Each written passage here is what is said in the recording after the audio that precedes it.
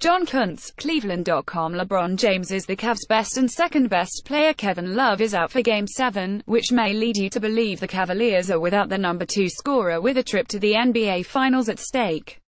Not true. Sure, Love is averaging 13.9